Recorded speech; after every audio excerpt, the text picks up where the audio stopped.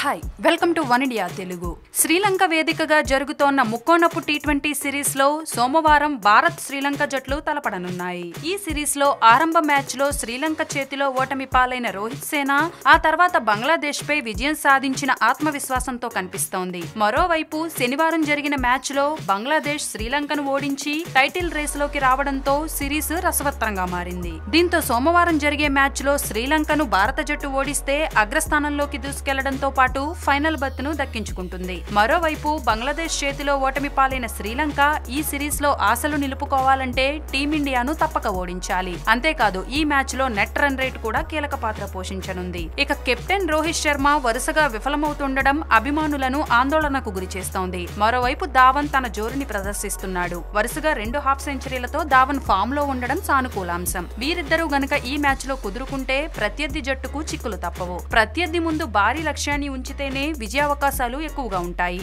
ఇక middle order విషయానికి వస్తే యువ వికెట్ కీపర్ రిషబ్ పంత్ పై భారీ అంచనాలు పెట్టుకున్న నేపథ్యంలో అతడు తొలి మ్యాచ్లో ఇరవై మూడుతో పర్వాలేదనిపించాడు. ఇక రెండో మ్యాచ్లో పూర్తిగా విఫలమయ్యాడు. దీంతో రిషబ్ పంత్కు మరో అవకాశం ఇవ్వాలా వద్దా అనే దానిపై మేనేజ్మెంట్ మల్లగుల్లాలు పడుతోంది. కేఎల్ రాహుల్ రూపంలో మరో నాణ్యమైన బ్యాట్స్మెన్ అవకాశం కోసం ఎదురు చూస్తున్నందున రిషబ్ పంత్కు ఈ మ్యాచ్లో మరో ఛాన్స్ దక్కడం కష్టంగా కనిపిస్తోంది. ఇక సురేష్ రైనా మనీష్ పాండే దినేష్ కార్తిక్ నిలకడగా ఆడుతుండడం జట్టుకు కలిసి వచ్చే అంశం. అలాగే స్పిన్ బౌలర్లు చాహల్ వాషింగ్టన్ సుందర్ ఆకట్టుకుంటున్నప్పటికీ గత రెండు మ్యాచ్ల్లోనూ టీమిండియా పేసర్లు ధారాళంగా పరుగులు సమర్పించుకున్నారు. జైదేవ్ ఉనాద్కత్ రెండు మ్యాచ్ల్లో కలిపి నాలుగు వికెట్లు పడగొట్టినప్పటికీ పరుగులు నియంత్రించడంలో మాత్రం విఫలమవుతున్నాడు. ఇక మరోవైపు సొంత గడ్డపై లంక బ్యాట్స్మెన్స్ ఆకాశమే హద్దుగా చెలరేగుతున్నారు. ముఖ్యంగా కుషాల్ మెండీస్ కుషాల్ పెరీరా సూపర్ ఫామ్లో ఉండడం ఆ జట్టుకు కలిసొచ్చే అంశం. ఇక స్లో ఓవర్ రేట్ కారణంగా రెండు మ్యాచ్ల నిషేధం ఎదుర్కొన్న కెప్టెన్ చండీమాల్ ఈ మ్యాచ్కు దూరం అవడంతో తిసారా పెరీరా జట్టును నడిపించనున్నాడు. అతడి స్థానంలో ధనంజయ డిసిల్వాను తుది జట్టులోకి తీసుకోనున్నారు.